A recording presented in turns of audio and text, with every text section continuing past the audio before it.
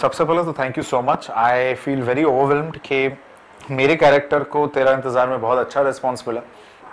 And uh, जहाँ तक मेरे कैरेक्टर का सवाल था फ़िल्म में is a very suave and a very flamboyant character who thinks no end of himself arrogance से भरा हुआ कैरेक्टर तो वो था।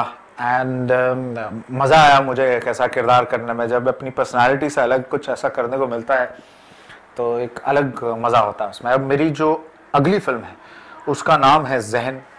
Jahan is directed by Dhirendra Dimri and stars Surbhi Mahendra with me she makes a debut in this film Surbhi जो हैं, वो पंजाब की बहुत बड़ी स्टार हैं। अब मेरा किरदार इस फ़िल्म में बहुत अलग है।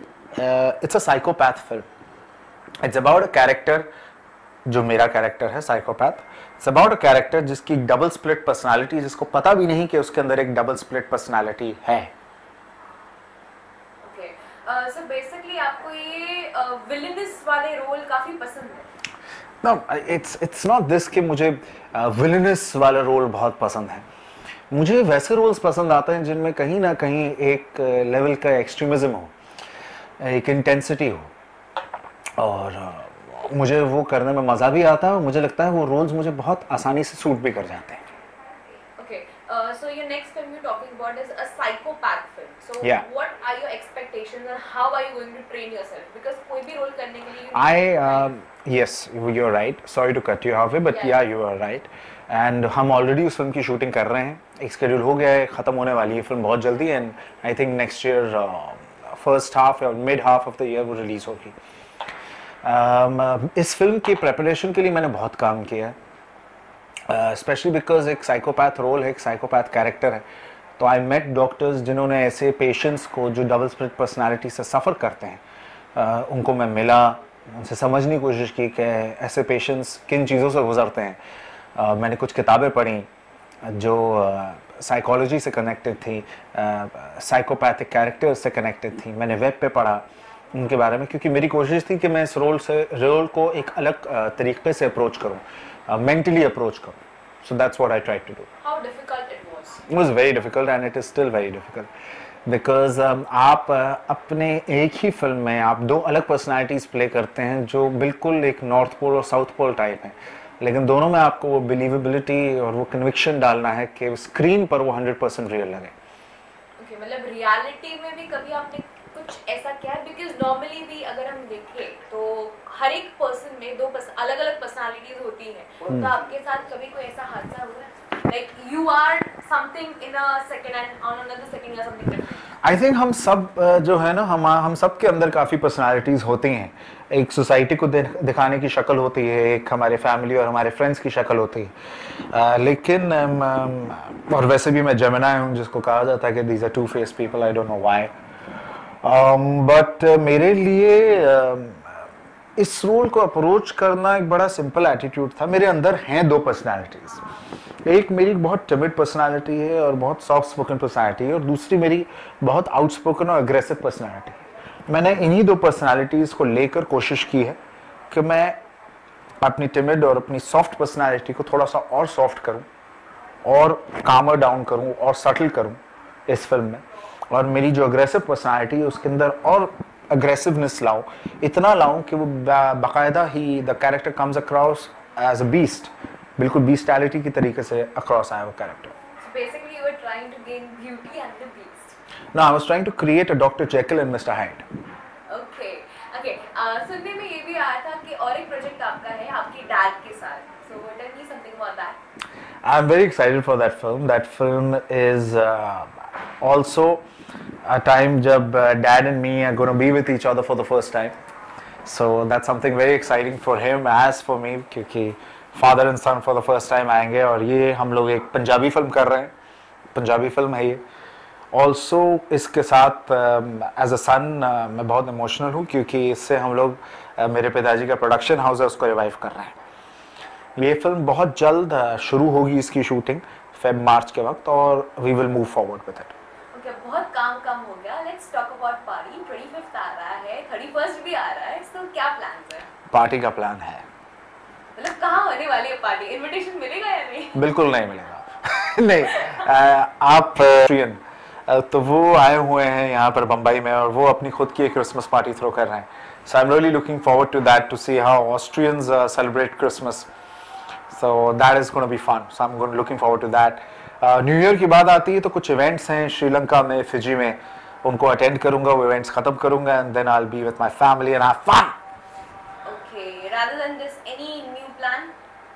What kind of work plan और fun plan No, fun plan. Fun plan fun plan तो भाई जब वक्त आएगा तब देखेंगे और कितनी मस्ती कर सकते हैं।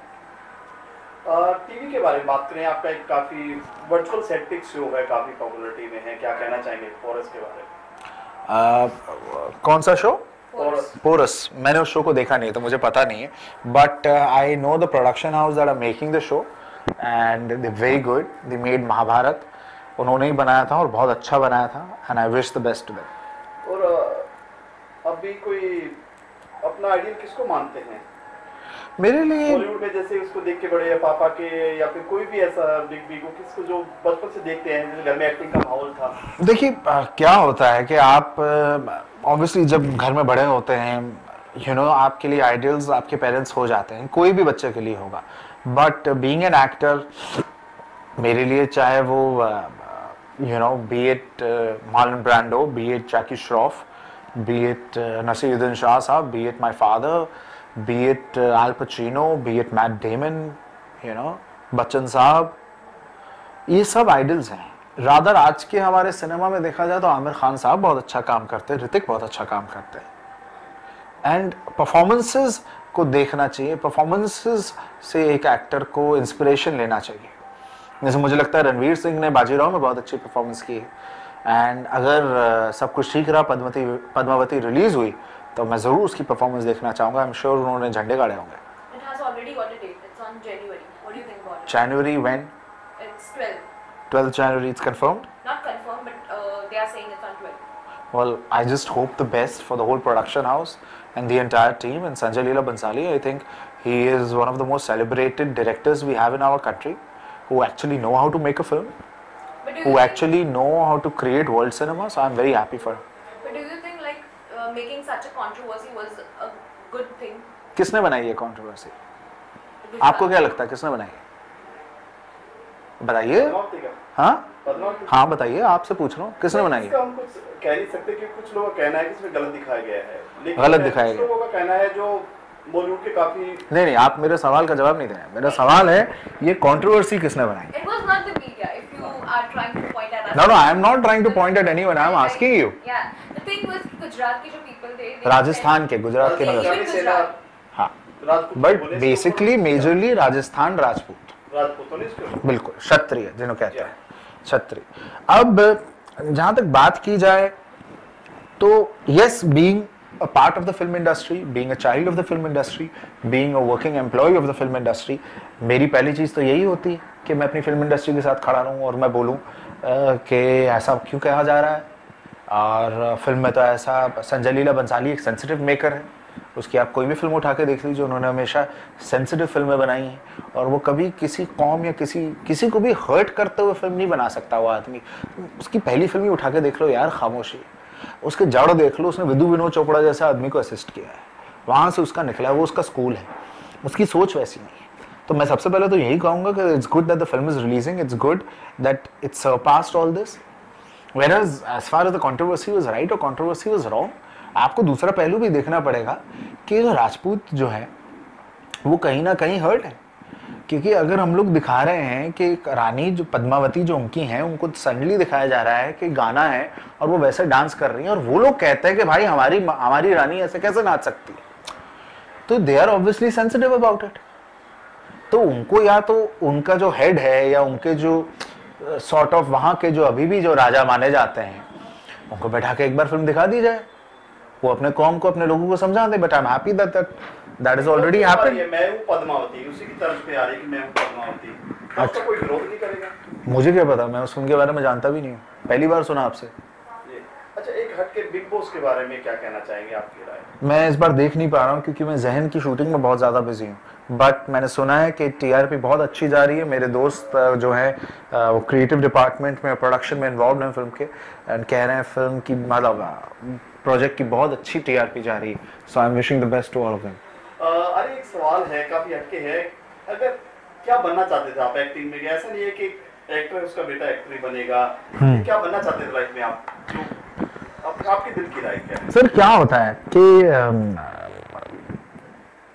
ये मैं बड़े सिंपल तरीके से इसका आंसर दे सकता हूँ।